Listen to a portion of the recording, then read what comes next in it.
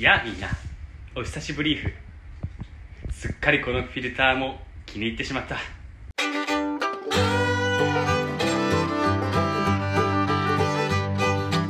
今日は残念ながら姉の朝日首細兄さんはお休みですがもう一人ご紹介しようと思う人がいるんだ。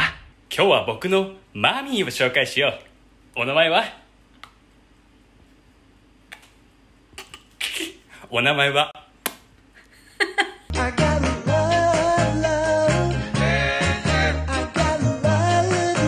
僕が個展をやるってマミーに伝えたらマミーが「じゃあ私パン作る」って急に言い始めたんだ。マミーやる気満々だ。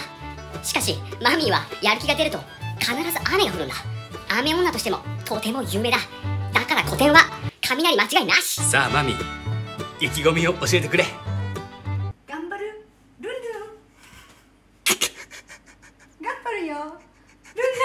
デニッシュパンって言ってパンの間にバターを挟むよ。バター？うん。それでまあ見て見て。見てて。分かった。見てるよ。ここにここにここに。広げたらここにバターを入れるよ。これ初めて作るのかい？うん。何回も練習したの。そしたらこのキューブ型に入れてこれであとは発酵して焼くだけだい。このままだとただの普通のパンにしかならない。そう思った僕はひらめいたんだ。何やらこの世界には焼き印というものが存在するみたいだ。その焼き印というものをこの間作ってきたんだ僕。それをみんなに一体見てもらいたい。ぜひ見てくれ。焼き印というものを。お邪魔したのはこちら。朝日中金工業さん。加熱して溶かした金属を。型に流し込んで金属製品を作ることを鋳物というらしいんだ。煮物ではないぜ。まずは型米という作業をやっていこうと思う。何やら砂を使って固めるらしい。砂を使っていくこと自体知らなかったからびっくらこいた。そして魔法の空気を入れるとあ砂がカチカチじゃないかウッディ兄さんの顔ぐらいカチカチだ。そうするとおおなるほどね。2層になってる。木の文字が出てきました、えーこれから湯を入れます。熱い溶けた、えー鉄を流し込みます。とても緊張しますが頑張ります。はいいいよいいですか？はい。お願いします。はい。あ怖い怖いはいはいはいはいじゃあ戻してはいこれで10分待ちましょう OK うまくいったんですはい OK ですやったはい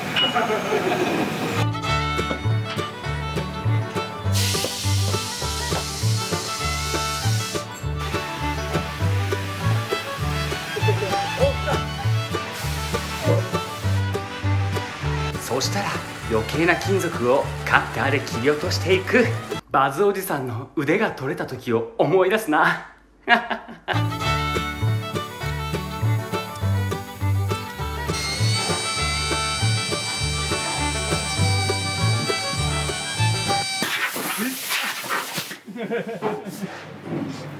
事 故仕上げは社長さんの魔法をかけて。完成だ。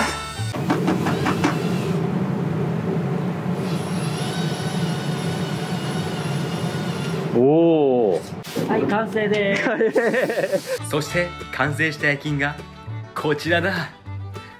すごすぎる。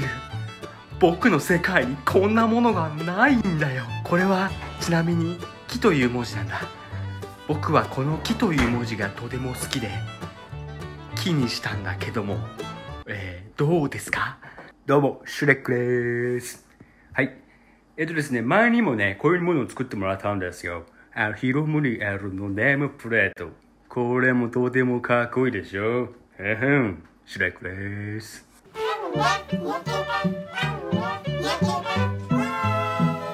焼けたよ。見て見て。ほらほら。おすごい。おおそれを？おお四角い食パンができました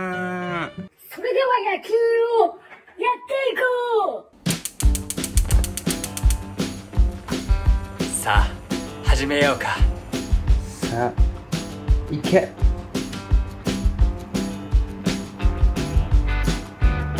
どうかな。おいいんじゃない？木。いいじゃん。この周りの縁もなんかいい感じの味出てますよ。いいジューって言ってますね。あでも綺麗。あいいんじゃない？と言っていいよいらっしゃいませ。パン屋です。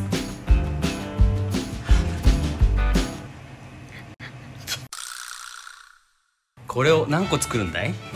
これをね50だよ。頑張るね。1日50個ってこと？そうそうそうそう。じゃあ100個ってことだ。頑張る。だからみんな来てね。1個ずつ愛情込めて焼き印を焼いております。いいね。だんだん上手になってうん、あ綺麗綺麗。みんな見てくれ。完成だぞ。すごく可愛くないかい？かわいいかわい。いちょっと待ってどどんな声出したの？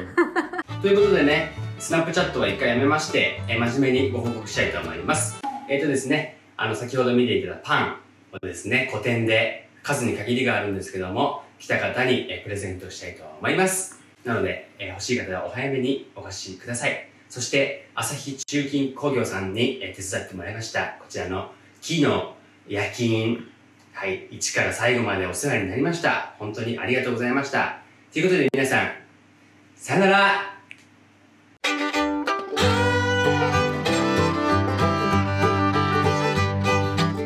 技名を教えてくれ。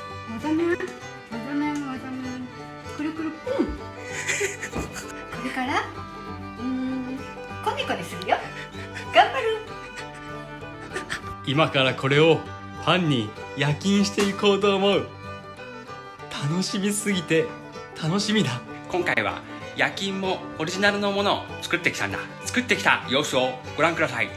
おひげが長いエクボができてんかわいい